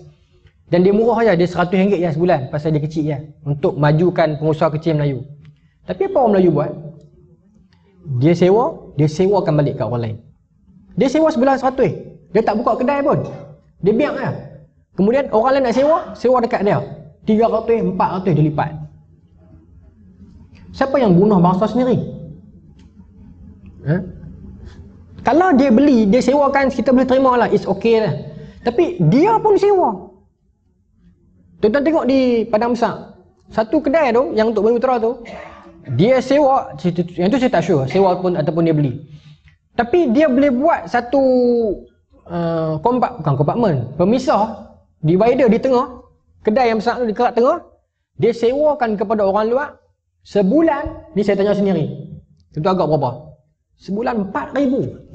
4,000, 4,000, 8,000. Sekarang bila duit Siam lagi naik, duit Malaysia jatuh, lagilah susah hati orang Siam. So kita boleh bayar lah, dia tak nak buat macam mana kami nak hidup. Dulu kan dia buat susah. Allah, dia pun belagak sikit lah. Buat macam mana, dia pun duit dia tinggi sekarang. Okay. Siapa yang buat perangai macam ni ni? Jadi sa, sa, bila saya kata macam ni orang selalu oh, bukan oh, bukan orang semua lah. Certain orang kata dia ni lalang, dia ni memang. Saya pernah orang kata dia ni ustaz lidah bercabang. uh, satu orang makcik turun labuh kata saya lidah bercabang. Pasal kes apa? Kes 10% duit tabung masjid di Pulau Pinang. Tuan-tuan tahu kan viral apa Datuk Seri Najib Razak pun share kan. 10% tabung wakaf Pulau Pinang. Cerita tu bukan cerita politik, itu cerita daripada orang Islam untuk orang Islam. Tapi kalau saya cerita tu bukan satu buah habis. Eh. Tapi secara mudahnya, eh, secara ringkasnya, eh, masjid di Pulau Pinang, dia rapat-rapat. Dia tak macam Selangor, Kedah luas. Tapi kita padat. Jadi di tepi-tepi masjid masih ada tanah. Tapi bukan tanah milik masjid, milik orang-orang sorangan. Sekarang ni budaya dia, orang-orang bukan Melayu duk beli tanah. Dia tak kisah di masjid ke di mana dia beli. So, uh, ada dua tiga orang dalam majlis agama Pulau Pinang untuk guru sebelum ni pun saya pun pernah suarakan pun sebelum ni uh, bagi cadangan kita beli sebelum China India beli kita beli dulu itu poinnya jadi dia panggil saya pergi mesyuarat pergi, pergi taklimat perbincangan tentang ni saya setuju lah dan kita sebarkan ha, jadi dan bila orang politik masuk dia rosak lah benda tu. Sedangkan dia tidak ada kaitan dengan kerajaan negeri tidak ada kaitan dengan China tidak ada kaitan dengan parti politik. Duit daripada tabung kita untuk umat kita. Saya minta maaf saya bongkar. Uh, saya pergi mesyuarat itu dan saya sangat sedih. Bila ada di antara jemaah masjid pasal dia perkumpulan semua. Saya tak elok saya cerita ni sebenarnya tapi saya tak mahu sebut lah saya cuma nak suarakan kesedihan saya dia bangkit dia kata kita kutip duit 10% untuk setiap tabung masjid yes dan kita akan beli tapak tanah bukan wajib beli tapi kalau pak cik tu nak jual sebelum Cina beli kita beli dulu itu konsep dia bukan kita nak paksa nak beli no Okay, kita bukan zalim. Kalau dia tak mau jual, it's okay. Tapi kalau dia nak jual dekat China ataupun India, kita beli dulu. Itu konsep dia. Jadi ada 51 tapak masjid yang kita dah uh, kena pasti. So kebanyakan belah pulau lah. Jadi yang belah sini kata, kutip duit kita semua. Nanti bila beli, dapat kat mereka. Kita yang kutip dapat apa? Oh, saya boleh sedengar macam tu tuan-tuan, dia jadi satu darah naik. Ni bukan cerita jemaah yang jemaah aku, karya yang karya aku. Ini kesan. Lambat lagi lah nak bersatu kalau macam ni. Kalau dalam kalangan jawatan kuasa masjid pun ada iri, masjid dia dapat, masjid ini tak dapat. Selangor saya harap tak jadi macam tu lah. Pulau Pinang pun Alhamdulillah, bila dah ada terang, okey Alhamdulillah. Pulau Pinang dan Selangor antara dua negeri adik-beradik lah yang subur dengan kuliah. Ustaz Selangor kaji main Pinang, Ustaz Pinang kaji main Selangor kan. Semalam Ustaz Jafri main sini kan. Baik. Maka, pasal apa boleh pergi sampai masjid ni? Oh, Sayyidina Muhammad. yang ni kan, yang ni kan tadi? Tapi saya nak cerita juga lah bagi tuan-tuan faham, tuan-tuan cerita kat kawan-kawan di rumah. Dia bukan isu negeri. So orang akan kata nanti, pasal apa biar ke kerajaan Cina, biarlah mereka bagi. Yes, mereka boleh bagi kalau mereka nak bagi. Tapi apa kesan kalau mereka bagi? Agama lain nak juga. You boleh bagi kat orang Islam, masjid, kami kuil nak juga. Kami tokoh nak juga. So kita tak mau perbalahan. Yes, kami orang Islam kaya, kami beli. Siapa pun tak ada hak. Even kerajaan negeri pun tak boleh ambil. Pasal ini wakafnya. Itu uh, model asal dia. Bila orang politik tak masuk lagi, dia clear, cantik flow dia. Tapi bila masuk suara-suara orang politik, nampak benda tu macam jahat lah. Okay. Ha, jadi saya minta tuan-tuan, kalau ada lagi uh, polemik tentang itu, tuan-tuan tolong sebarkan. Itu poin dia. Itu bukan poin nak rampaskan. No, no. Bukan, tak ada kena-mena. Bukan saya nak bela kerajaan tu. Okay. Saya orang Islam tuan, saya Melayu. Semua saya tak suka fitnah. Tu ya. Okay. Baik, saya nak sambung. Hmm, setengah jam lagi ni. Maka Universiti Islam tadi kan, Universiti Islam Uthmaniyah kan. Maka tapi bijaknya Sultan uh, Sultan Abdul kedua dia tolak dan dia urut dia warning Theodore Hazel kalau hamai sekali lagi hamai sekali hang balik kepala asing badan asing. Oh, ini Sultan Abdul kedua, tegas dia. Tapi apa kesan dia? 1897 dia warning macam tu. Saya angkat kamera tu, saya bangun duduk, bangun duduk, maaf. 1908 dia disingkirkan. Sultan Abdul Hamid kedua. Okey, dia disingkirkan oleh gerakan-gerakan Turki muda yang pimpinan Ataturk. Ataturk pun satu satu satu persoalan yang menarik untuk kita share Ataturk. Okey. Mustafa Kamal Ataturk. Hari ini bila kita tanya orang Islam, bila sebut tentang Mustafa Kamal Ataturk, kita akan ingat apa? Paling dominan sekali orang akan ingat apa? Sebut Ataturk. Bumi tak terima mayat dia. Betul tak? Itulah penyakit orang Islam. We are looking for miracle. We are looking for benda-benda yang uh, Tuan faham lah maksud saya. Macam kita kata ni lah. Uh, ada satu pak cik di atas bukit di Kedah tu. Tuan guru dia tu wali Allah. Oh, wali Allah dia boleh jalan atas air. Ha, dia boleh jalan atas sungai. Kita nak tahu sama ada dia boleh jalan atas sungai ataupun tidak. Ukuran kita kepada seseorang wali cuma jalan atas air. Dia boleh terbang tak? Kalau nak ukur wali dengan terbang, burung lama dah jadi wali. Nak ukur wali dengan jalan atas sungai, itik lama dah jadi wali. Kalau dia dapat, Alhamdulillah. Itu itu hak dia, itu karamah Tuhan nak bagi kat dia. Tetapi ukuran kepada kewalian itu sejauh mana dia arif billah, dia ilmu ma'rifah dia tahu. Ketakwaan dia tinggi kepada Allah. Keilmuan dia. Tapi kita tak ukur dengan benda tu. Kita ukur dengan benda-benda yang takjub. Okay. Perangai ini sama macam perangai orang Arab. Bila Nabi Allah Saleh dalam sejarah, dalam sirah, tanya orang Arab, hampa nak bukti aku ni Rasul. Apa nak bukti apa? Apa jawapan dia apa? Keluarkan unta daripada bukit ni. Benda yang miracle. Tetapi bila dalam zaman jahiliah, bila orang jahiliah tanya orang Yahudi, kami nak minta bukti apa Muhammad ni Nabi? Orang Yahudi bagi tiga soalan. Roh, kahfi, Zulkarnain. Itu sikap Yahudi. Dia nak akademik. Suruh Muhammad jawab tiga soalan ini. Tapi orang Arab dia nak tengok unta boleh keluar nak kat bukit ni. Sebab itu hari ni Yahudi defeat orang Islam. Sebab fokus mereka on akademik tu. Bila saya puji bukan saya reda mereka. Kita lawan. Tapi itu antara sikap mereka tu yang kita kena contohi. How they serious on academic issue. Bukan benda yang miracle macam bukan macam tu saja. Tapi hari ni dah berlaku pada orang Islam. Nak periksa suruh Tok Bomo jampi pensel. Anak saya ni ustaz nak SPM tolong jampi sat pensel dia. Yang nak jampi pun tak ambil SPM. Kan? Ha, minta maaf lah. Saya, saya kurang setuju dengan bukan kita tak menolak jampi. Ialah hadis pun sebut ada sahabat yang jampi dengan ayah kan? Oh, tapi saya contoh tu tak main selangok dah nanti ni. Uh, kita tak tolak saya tak tolak. Okay? cuma dia ada perbahasan yang panjang lah. Bila seorang sahabat tu jampi uh, dengan surah fatihah kan? Bagi orang tu minum kemudian dia ambil upah kan? Saya tak mau contoh yang tu. Okay? saya nak habiskan ni. Saya lagi 25 minit ni. So so Sultan Abdul Hamid kedua tolak uh, tolak tak terima maka dia di, dijatuhkan berlaku perang dunia pertama dalam range itu 19 14 sampai mana tu siapa padam ke? Ada orang naik padam tak tu? 1914 sampai 1919 kan? Dalam range itu, okay? World War 1. Okay, ini World War 2 uh, eh sorry. Ini Betul lah 1914 sampai 1919. Okey, perang dunia pertama kan. Baik. Dalam range ini apa berlaku? uh, saya, saya, saya tulis bertabuk sikit tuan-tuan. Dalam range ini, antara 14 sampai 19, apa berlaku di tengah-tengah? Ada 19, 16 iaitu Allah teruknya kotak. Revolusi Arab 19, 16 yang sampai hari ini dikenang sebagai kemerdekaan Arab. Hari ini dikenang. 1916 adalah revolusi Arab. Orang Arab bertempur dengan Uthmaniyah. Ha. Arab di bawah Uthmaniyah. Dia minta nak keluar Uthmaniyah. Dia lawan dengan pemerintah dia sendiri. Masa ini resis begitu kuat dalam kalangan Turki dan Arab. Masa tu dalam kalangan orang Turki dia berkata satu ekor kuda Turki lagi bernilai daripada satu orang lelaki Arab. Dia dah merendahkan orang Arab. Kemudian masuk T.E. Lawrence, Lawrence of Arabia. Dia masuk ke Arab, dia api-apikan perkauman. Dia kata Quran bahasa Arab, Nabi bangsa Arab, kiblat tanah Arab. Semua ni Arab. Tiba-tiba nak duduk bawah Turki. Sekarang kami sediakan bantuan, senjata, lawan dengan orang Turki. Dan Turki dalam tempoh ini, dia sedang perang. World War One.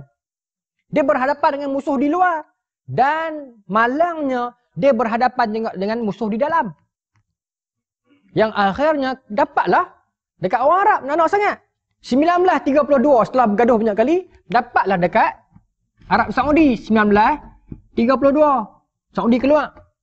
Syarif Hussein dapat keturunannya dapat Jordan. Kan? Hashimiyah ni. Saudi 32. Mana ada negara yang nisbahkan pada nama dia sendiri? Sultan Brunei pun tak letak nama dia dekat negara Brunei. Tapi Saudi, Arab Saudi. Arab ini Saud yang punya. Masuk Arab Saudi tu. 32. Macam saya sebut tadi, Mesir dapat EMG kan? Syarikat gas. Arab dapat Aramco. Iaitu bantuan dana oleh Amerika untuk majukan minyak Arab Saudi yang akhirnya Saudi jadi kaya raya. Kaya raya sampai hari ni. Apa Amerika buat? Dia turut. Maaf sebut. King Faisal sahaja yang the only yang bagus. Yang lain dia menuruti apa sifu dia buat. Tapi tapi malangnya dia keluar 1916 ni. Okey.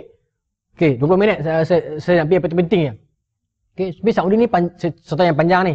Saudi ni uh, dia establish 32 ini zaman Muhammad uh, sorry, zaman Abdul Aziz As-Saud. Tapi kalau yang dekat bendera Saudi yang dua pedang itu, itu Muhammad As-Saud. Muhammad As-Saud 1808. Okey, sekali. 1808. Ini Saudi pertama. Muhammad As-Sa'ud dengan Muhammad bin Abdul Wahab. Ha, tu tu Wahabi tu. Muhammad bin Abdul Wahab masa revolusi pertama dia sudah mati. Dia mati 1793.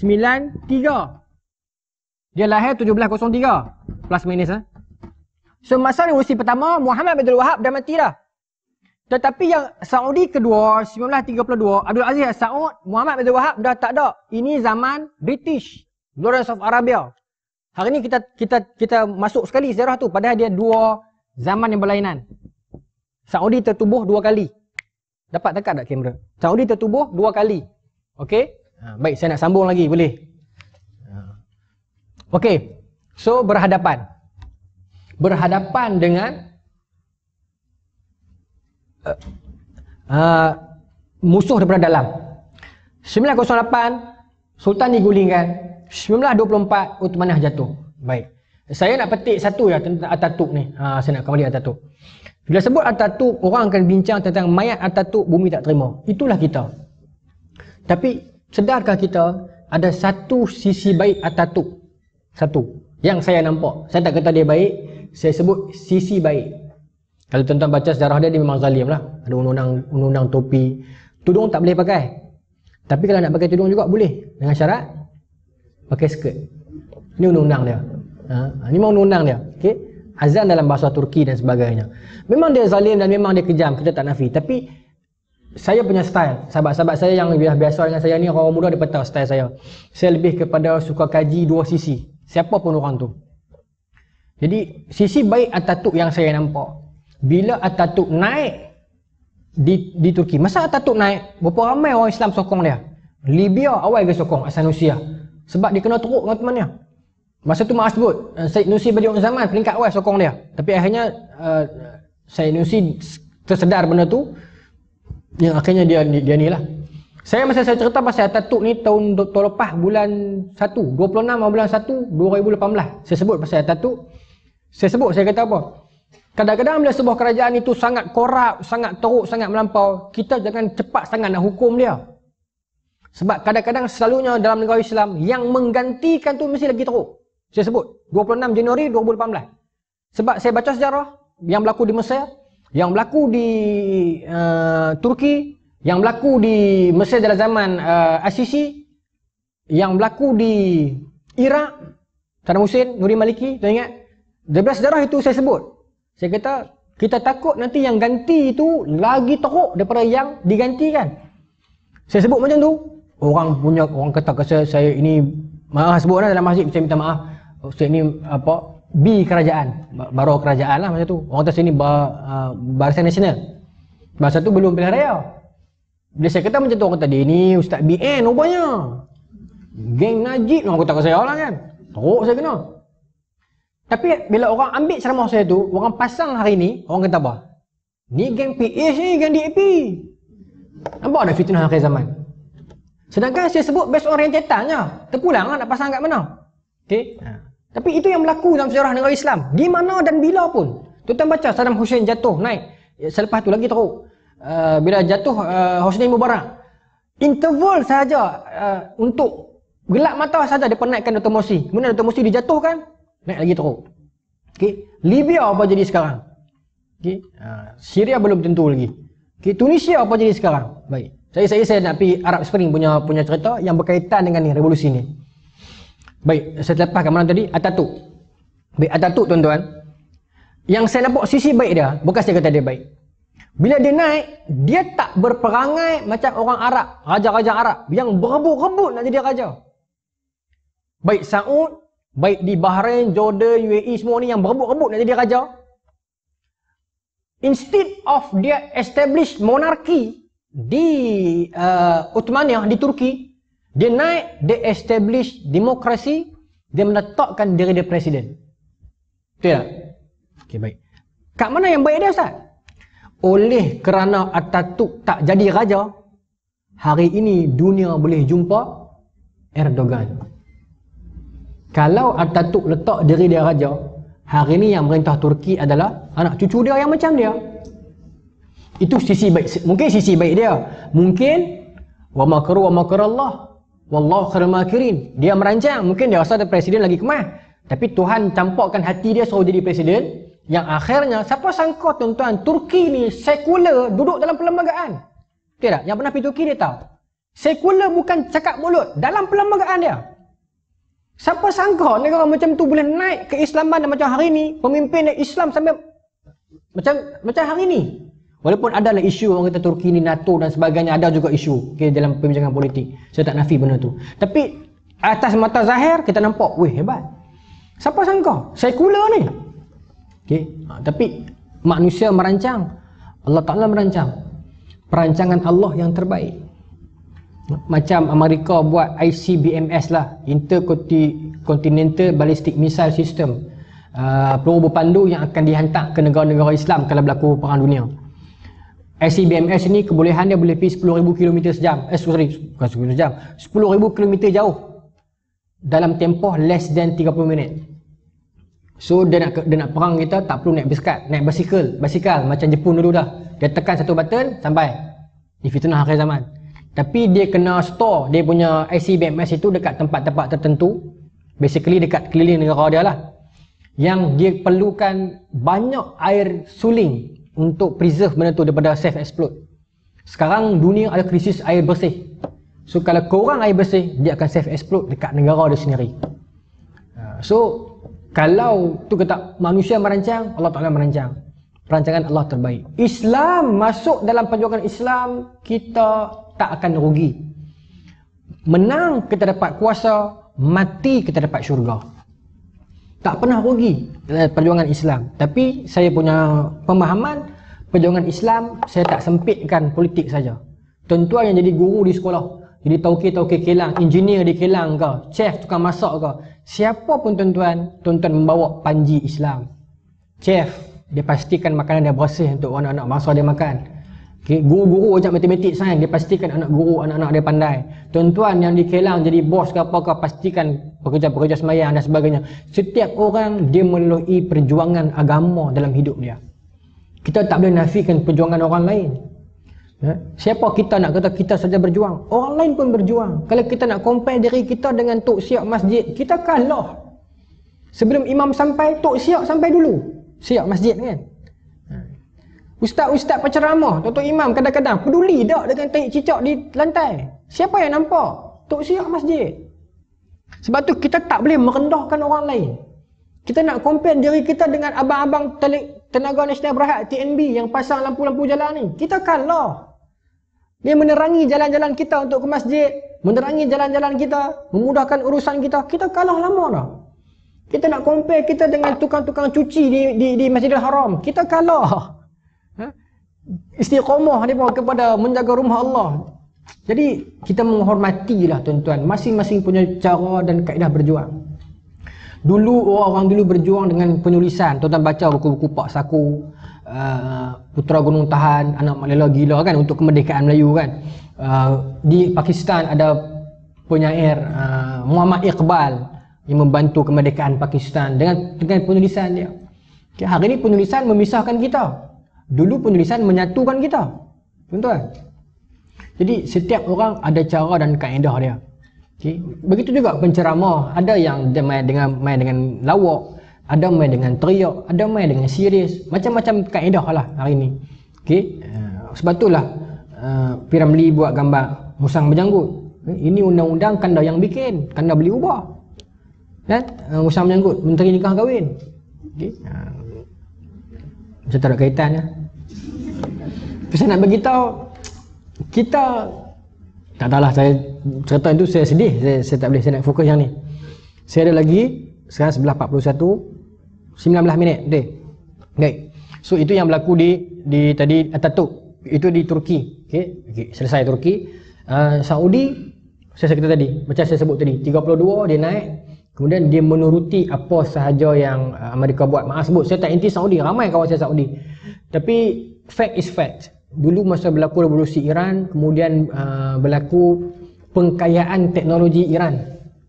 Saya tak silap saya, dua tiga pengkaji politik pernah sebut benda ni.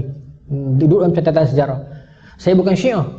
Tapi berlaku pengkayaan teknologi senjata Iran. Bila kita tak boleh buat senjata untuk lawan dengan mereka, cukup dengan kita buat remote control untuk hack senjata mereka. Ini idea siapa? ini idea Erbakan yang dia bagi kepada Giorgiani Menteri Pertahanan Iran masa tu. Sebab tu Iran mengkayakan teknologi hacking system. Kita ingat dalam zaman revolusi, pasca revolusi berapa banyak helikopter Amerika jatuh. Masa tu orang yang syiah dia kata tengok kehebatan syiah. Allah Ta'ala tolong. Orang syiah dia kata macam tu. Orang yang apa syiah dia akan cakap macam tu macam-macam orang lah dia akan cakap. Tapi orang yang mengkaji politik, mengkaji ilmu akademik, dia faham sejarah ni. Uh, saintis Iran bantu sistem hacking. Tapi selepas itu, saintis Iran hilang di mana? Di Mekah. Berapa ramai saintis Iran hilang di Mekah? Saya tak tahu, saya tak kata uh, orang yang suka benda miracle, dia kata Allah Ta'ala lesapkan lah kan. Orang yang uh, politik, dia kan kata Saudi yang uh, bantu mereka hilang kan. Tak tahu lah, saya tak tahu. Tapi itu sejarah memang hilang. Okey. Uh, sebab tuan-tuan, negara Islam ni kuat tak tuan-tuan? Nak nak compare kuat, kita tak kuat lah. Jet kita ada 14, jet mereka ada 20 ribu. Sorry. Yes, 20 ribu masuk dengan masuk dengan drone, masuk dengan helikopter semua.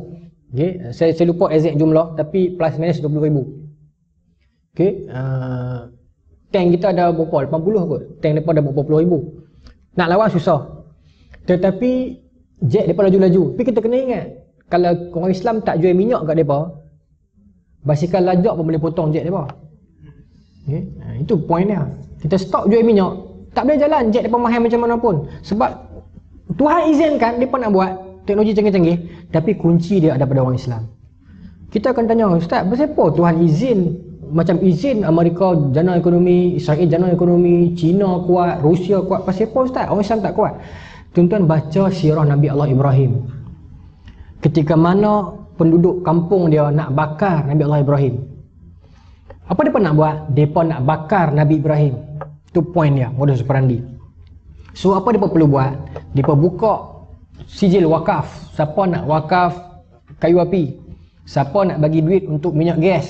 Siapa nak sediakan tempat? Siapa... Ini cerita dalam tafsir. Pasal api yang bila marak tu nanti, burung pun tak boleh terbang dekat atas. Sebab terlalu marak untuk nak lontar Nabi Ibrahim seorang.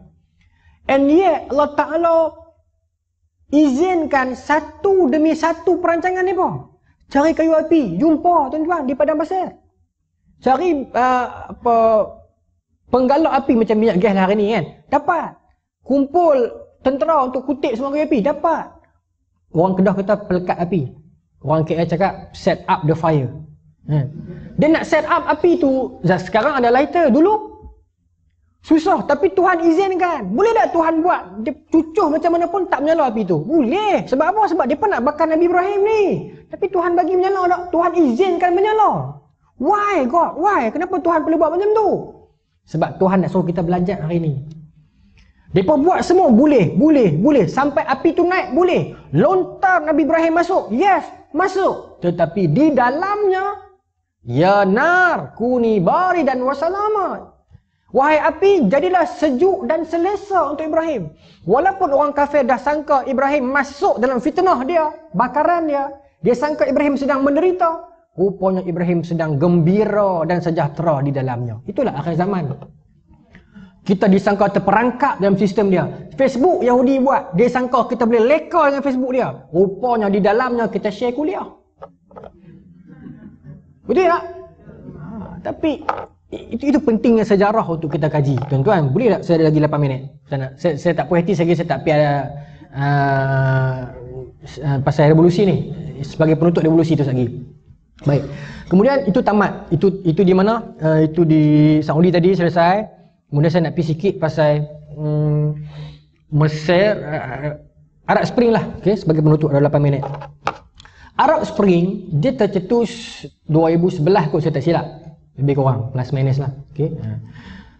Kemudian negara yang berlaku Arab Spring adalah negara-negara hmm, saya buat uh, akronimnya lah.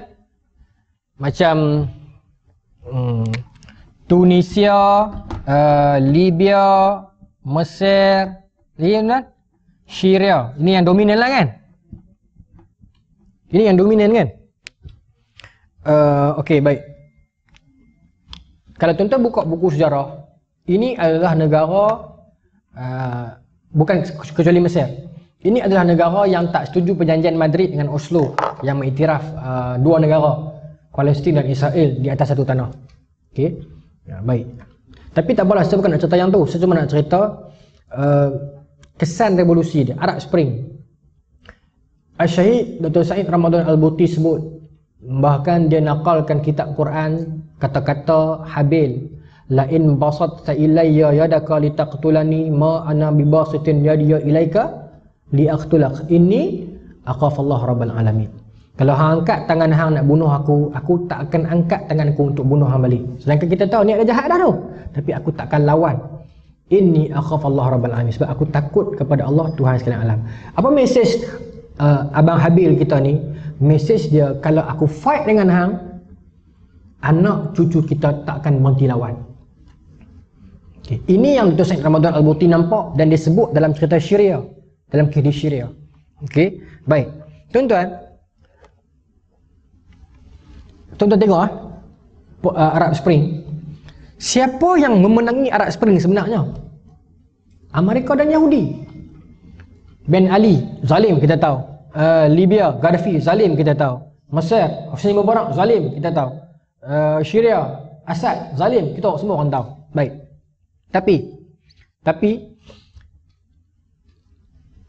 bila berlaku di Tunisia masuk Amerika, Mesir Amerika masuk senjata dia. Libya masuk cek tangkap bagi Gaddafi. Okey? Baik. Yaman berapa lama bergolak? Tak masuk. Pasal sukar ataupun pasal tak sekaya empat negara ni. Baik. Uh, dulu ada di belah-belah kita tapi tak payah masuk lah belah kita pun masuk Allah. Min nak belah depa ni. Baik. Kemudian Mesir cepat sangat, paling cepat selesai antara yang cepat Mesir. Sebab Hosni Mubarak step down. Sebab apa Husni Mubarak senang saja surrender? 30 tahun dia perintah Mesir.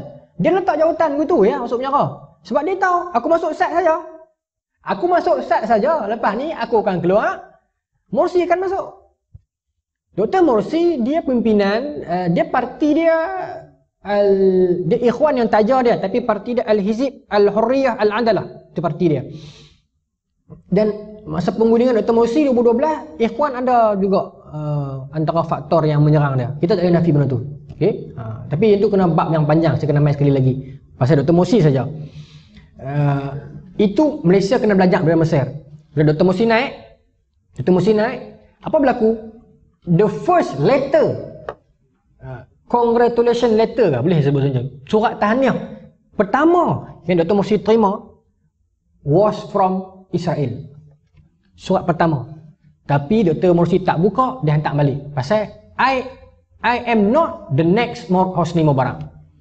Tapi kesan dia apa? Dia menanggung seperti mana Sultan Abdul Hamid kedua tanggung sejarah berulang. Baik. Bila dia naik Tuan-tuan kena ingat, Dr. Musi naik atas bantuan ikhwan kita tak nafi Islamis. Tapi Kristian pun bantu juga. Budak-budak muda, punk, grunge, hip hop, revel, hipster pun bantu juga nak perubahan. Semuanya bantu Dr. Musi untuk menang. Pasal dia tak tahan dengan Hosni. Bila Dr. Musi naik, dia perlu berhadapan dengan kerenah semua golongan yang undi dia ni. Masing-masing nak claim. Ikhwan kata bila nak mantapkan Islam, bila nak putus dengan Israel. Kristian pula tanya bila nak itiraf Israel. Anak-anak muda pula tanya bila nak bagi kerja. Liberal pula tanya macam-macam. Dia keseorangan. Masa ni tuan-tuan, EMG ingat tak EMG? EMG ni masa ni dah dipenuhi oleh kroni Israel dan Husni. Dia boykot pentadbiran uh, uh, Dr. Mursi. Maka penjanaan duit tak dapat. Dia tak ada duit. Dia seorang-seorang dia. Again, macam Anwar Sadat.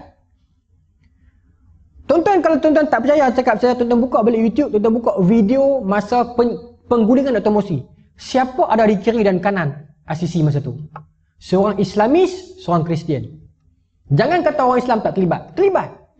Penyakit orang Islam, once dia keluar daripada rejim, dia eager untuk tuntut cepat, cepat, cepat, cepat. Itu penyakit orang Islam. Okay. Dan Dr. Mosi keseorangan. Orang boykot dia. Toke-toke ni semua masih lagi orang husni. Maka apa dia boleh buat masa tu? Dia tidak ada jalan lain tuan-tuan. Melainkan dia terpaksa berhadapan. Dia terpaksa pi minta dekat IMF. Ini sejarah. Minta loan dekat IMF untuk install balik Mesir. Teruk sangat dah ni selepas revolusi. Uh, toki-toki kroni boykot dia. Maka dia minta uh, pasal dia tak ada, tak, tak, tak ada laluan lain nak pergi minta untuk bantu dia. Dan dia yakin dia boleh bayar cepat dengan amanah dia dan pasukan baru dia nanti tu. Tapi the same things happen. IMF letak satu syarat kami boleh bagi tak ada masalah. Dengan syarat you have you should be the next Hosni Mubarak. Iman dan takwa dia dia tolak benda tu. Dia tak terima tapi harga yang perlu dia bayar adalah dia digulingkan. Rakyat tak pernah faham dia. Tak mau faham hang susah ke, hang ni ke apa aku tak mau tahu. Okay. Dan kena ingat zaman Dr. Musi berlaku penutupan terowong ingat tak? Terowong Gaza uh, Mesir dan orang menyalahkan Dr. Musi. Okay. Saya tak tahulah siapa yang tutup. Saya, saya secara peribadi bila tengok Dr. Musi punya akhlak, saya tak rasa dia tutup. Tapi berlaku di zaman dia, orang akan tuduh dia lah. Berapa ramai Islamis marah. Islamis marah kes tu sebenarnya. Okay. Ha. Kristian pula marah sebab tak iktiraf lagi secara rasmi. Baik. Liberal dengan dengan cara dia lah. Baik. Masing-masing tuntut. Okay. Kemudian dia seorang-seorang dia. Tak ada duit. Rakyat tak mau tahu. Aku nak cepat. Maka akhirnya dia digulingkan. Naik ICC lagi teruk lah. The point is. Tuan-tuan cuba imagine. Kalaulah 2013 itu Dr. Mursi sign juga dengan IMF. Dia akan menerima nasib yang sama macam Anwar Sadat dunia Islam yang dulu mengangkat dia akan menghukum dan akan mencerca dia. Itu penyakit umat Islam. A point to ponder is bila dia keseorangan dia susah where are those Arab kings? Mana pergi? Dia tak ada duit tak boleh ke land sat bagi duit sat ataupun OIC 57 buah negara Islam tak ada ke satu sistem boleh bantu install sat zat setakat simpan buat apa? Ijtihad lah untuk install sebuah negara Islam baru. Tak boleh ijtihad. Anything kita boleh buat apa yang kita boleh buat? Kita kaya tuan-tuan. Tapi negara raja-raja Arab lagi seronok beli kelab EPL berbanding nak bantu Mesir. Tuan-tuan bacalah berita bagaimana raja-raja Arab bida plate kereta dia kereta kereta. Berapa juta pound. Dia lagi okey bida plate kereta kereta kereta daripada nak bantu Mesir untuk install reinstall tu saya kata kalau Dr. Morsi sign IMF dia akan terima nasib macam Anwar Sadat. Tapi mujuk Dr. Morsi kuat iman dia, dia tak terima. Sultan Dami kedua pun tak terima. Yang silap berterima Anwar Sadat. Tapi itu perancangan Allah nak bagi kita nampak. Kalau terima jadi macam ni kalau tak terima jadi macam ni. Poinnya kita still jadi penepuk tangan, penepuk tangan, penyokong, pengkritik dan pemuja tanpa pernah menilai apa yang berlaku di dalam sejarah itu. Wallahu taala alam tuan-tuan. Itulah uh, peristiwa sejarah moden akhir zaman uh, Asia Barat yang boleh kita nisbahkan kepada mana-mana negara Islam dunia.